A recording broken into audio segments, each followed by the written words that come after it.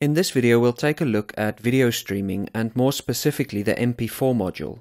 First of all, this module is not built by default, so it will have to be added to the install flags during the build process by setting the flag with HTTP MP4 module.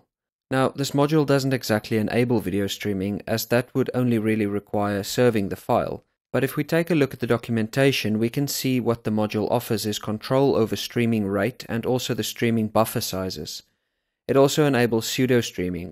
To demonstrate this, I've added an MP4 video file to that original downloads directory, and I'll head over to my editor with the Nginx configuration file open.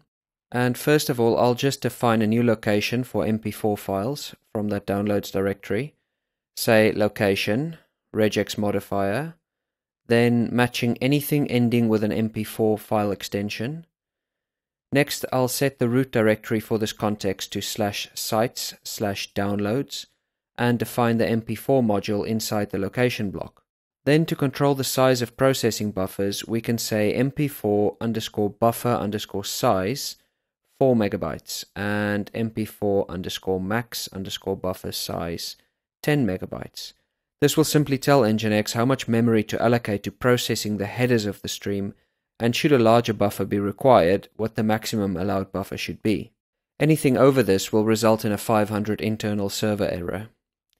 Now, if we save this, reload the configuration file, and head over to the browser, I'll navigate to that video file by going to slash bigbuckbunny.mp4.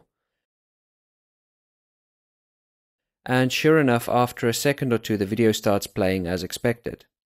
Of course, most modern browsers will deal with an MP4 file just fine. But in addition to controlling buffer sizes, the Nginx MP4 module also allows pseudo streaming, meaning that we can actually specify a starting time and even an ending time for this video. If I go to the URL here and specify start equals, say 15 seconds, and hit enter, this video will now start playing at 15 seconds in. So overall, a very helpful module and really a must-have for any website with streaming video content.